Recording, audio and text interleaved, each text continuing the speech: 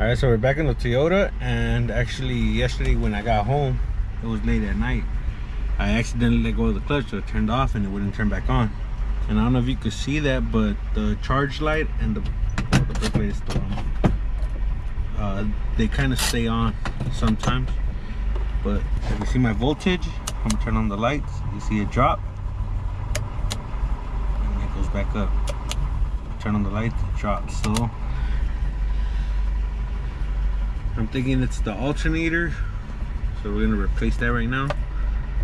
But we're not gonna replace it with the stock alternator. We're gonna replace it with a 120 amp alternator. So I guess it's kind of like a budget upgrade for these trucks. Uh, the alternators from a Jaguar XJ6 and it should be a direct bolt-in except for the the pulley you have to switch over the 22RE pulley to the alternator. Where we have the alternator I'm about to show you guys right now. Okay so this is the part number.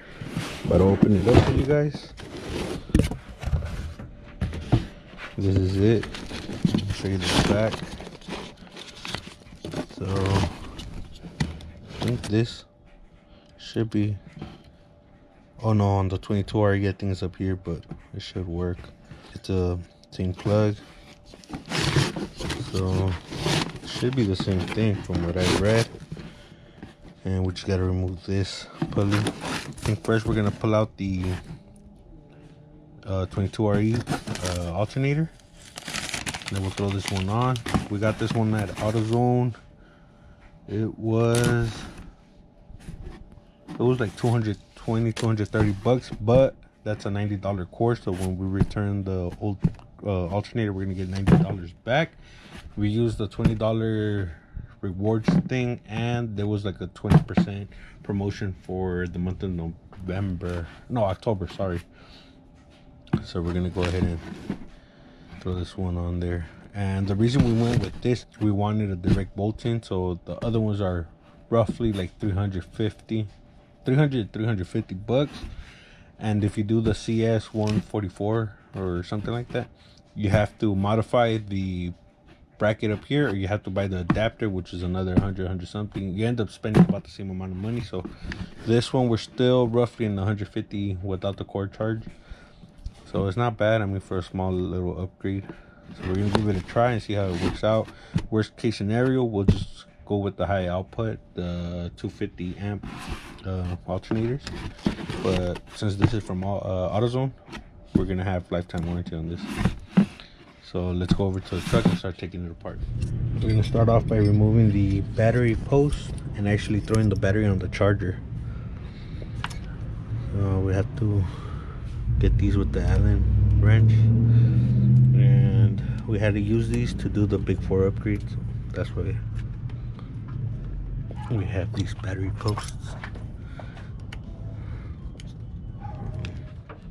all right so nothing here should have power anymore and we're gonna get to this bolt.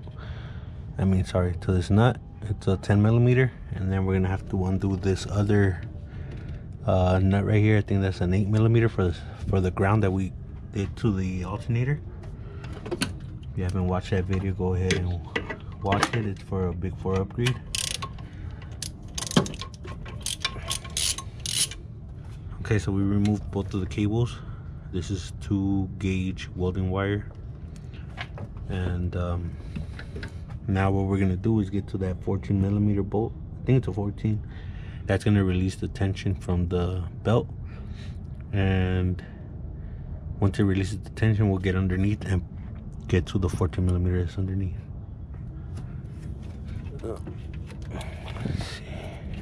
Oh and we also have to get this plug which i'm forgetting uh, see if I could reach it right now.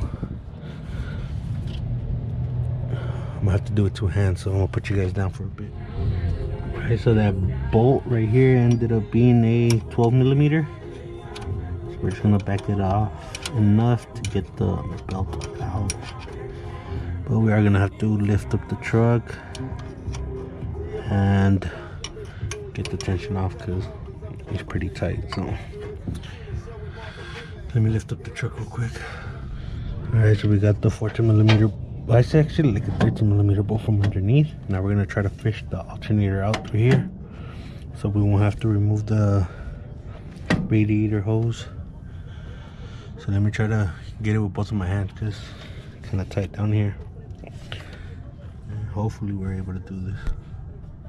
Okay so i was able to pull this out without removing the hose and all i did was just you know move the hose to the side and then pull the alternator out. So this is going to be like a little side by side. This is the stock alternator. And this is the jaguar alternator. The casing is a little bigger. And so this pulley has to go on this side and this one has to go back over here. But I haven't had luck pulling this one off so I had to go borrow an impact and hopefully be able to remove it like that and the mounting holes they look like they're in the same place so hopefully it works out. On the back side so the, this plug is on the same side. This one changes. This one's back here the other one's up top. We're on our way to a machine shop. So the original v belt pulley has to go on the new alternator. So this is the serpentine belt pulley and we had to get this hole bored out to the same size as this. From what i've read online this uh the hole on this pulley is 17 millimeters and on the toyota is 15 millimeters. So we took it to one shop but they weren't able to open it up all the way. So now we have to take it to another shop. All right so we're back from the machine shop and i would suggest getting the pulley done at a shop that you know that could do the pulley because we took it to one shop and at the end of the day they said that they couldn't. So the, the pulley was there for the whole day for no reason. So now we had to take it to another shop and they were they have to get it done till tomorrow because it's too late right now. So now what we're gonna do is we're gonna work on sanding this down with the flap wheel or maybe cut a little bit off with the grinder i don't know yet. But on the stock one as you can see I don't know if you guys could tell, but this lines up all the way to here. And on this one, it's a little off, so this is sticking out a little too much right here. So instead of bending the bracket, because people also bend the bracket outwards, I guess, so they could fit the bolt. Instead of doing that, I'm gonna try to hit it with the flap wheel, sand this down. It's aluminum, so you know you gotta wear a mask and stuff. I guess I don't know. And uh, we're gonna get to working on this for now so let me find a way to get a straight line from here to there. I don't know maybe use some tape or something. And then we'll see how much we have to knock off. All right so there you have it. All i did was just lay a piece of tape over this shit. And then um went all the way across. And it looks like it's a little that way but oh well. I think it's gonna work i mean worst comes to worst if we have to shim it with the thin washer then we'll do go ahead and do that. And all i did was uh use the cutoff wheel.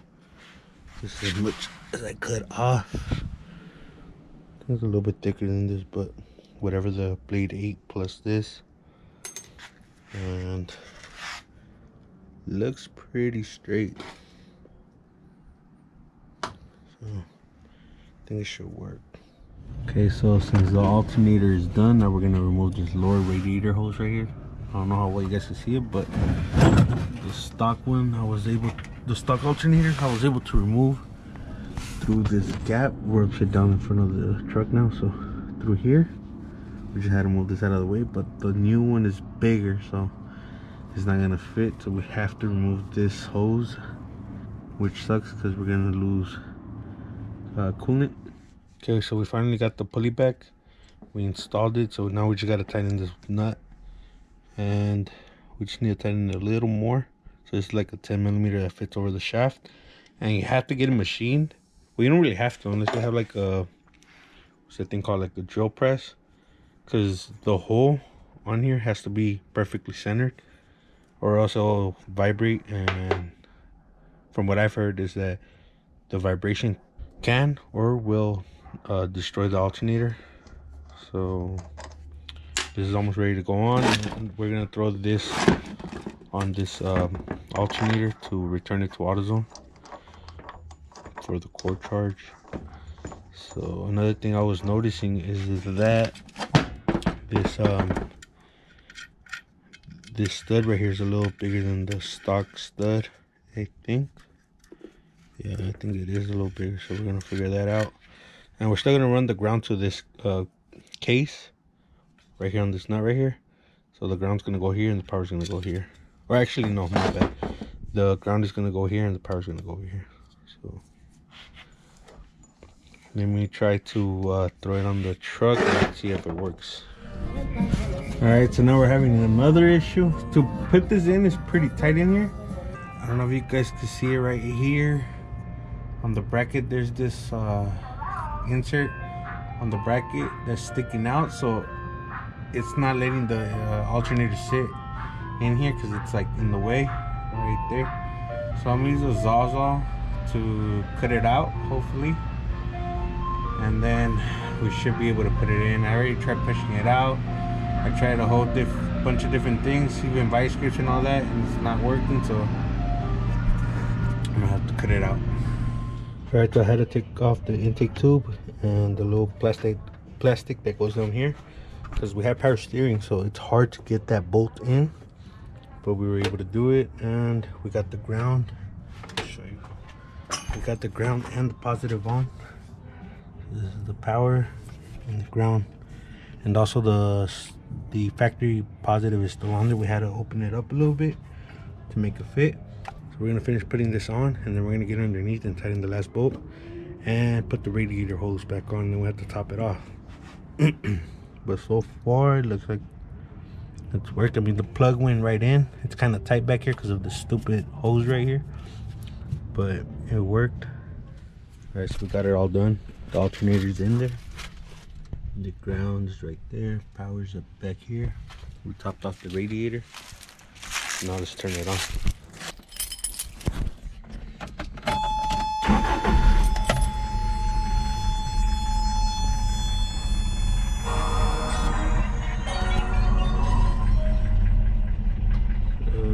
voltage is pretty good now. Even with the lights on. It's still a little bit shaky because I think we have to adjust the valve so that'll be in a couple of videos. But that's it for the alternator. So basically we had to open up the pulley. Uh, we had to cut that little extra piece off of the bottom bracket of the alternator. And we had to shave off the top mount of the alternator just so we won't have to bend the stock alternator bracket. And then the cable has to be upgraded because for the alternator you have this thin cable right here. It's little fuse. Um, what else? The stock belt fits so you don't have to get another belt. And that lower radiator hose has to be removed in order to fit the new one. But that's it. So this upgrade was necessary because of the sound system we're going to be putting on this. So next we're going to be working on the interior. We're going to install some Kilmat new carpet and sound system and all that so stay tuned for those videos. Make sure to like comment subscribe follow us on instagram at yonke underscore oxc films. I'll leave that in the description down below and we'll catch you in the next one